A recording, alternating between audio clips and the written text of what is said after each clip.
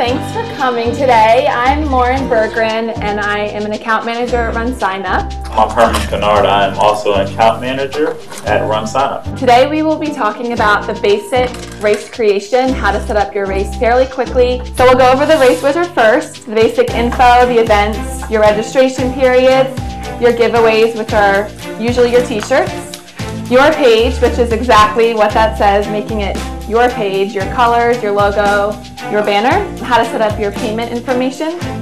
And then we will also touch on making some custom content pages and some other fun things.